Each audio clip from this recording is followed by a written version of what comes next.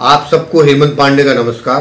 Corona से बचने के लिए सरकार अपने तरीके बता रही है, उपाय बता रही है, न्यूज़ चैनल्स उपाय बता रहे हैं, सोशल मीडिया में ये चल रहा है। लेकिन किसी को अगर ये मालूम नहीं हो तो मैं भी आपको ये बात कहना चाहता हूँ कि कोरोना से बचने का एक ही उपाय है, वो ये कि आपने अपने पसीने की कमाई से, अपने मेहनत की कमाई से जो घर बनाया है, या जिस घर में आप किराए पर रह रहे हैं, आप उसमें रहिए, उसका आनंद लीजिए, अपने परिवार के साथ रहिए, क्योंकि ये मौका दोबारा मैं नहीं चाहता कि किसी की ज़िंदगी में दोबारा आए।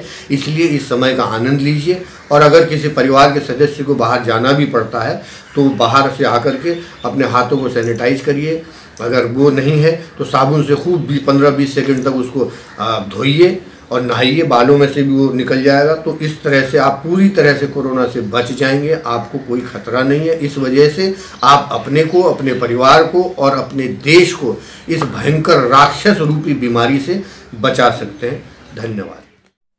नमस्कार दोस्तों, मैं हूँ आपका होस्ट एंड दोस्त अजय शास्त्री।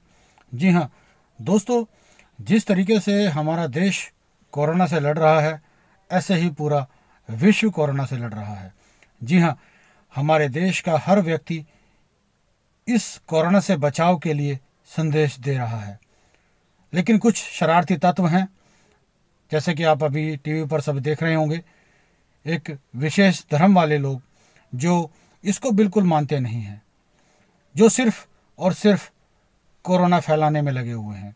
आज अगर हमारे देश की संख्या कोरोना में बढ़ी है तो सिर्फ़ एक विशेष धर्म के लिए, के लोगों के लिए, कारण ही बढ़ी है।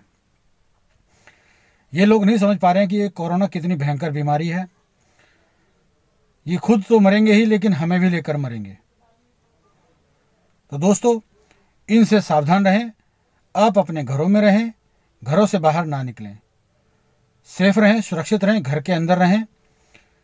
इसी बात को लेकर हमारे प्रधानमंत्री जी बार बार अपील कर रहे हैं कि अपने घरों में रहें, सुरक्षित रहें।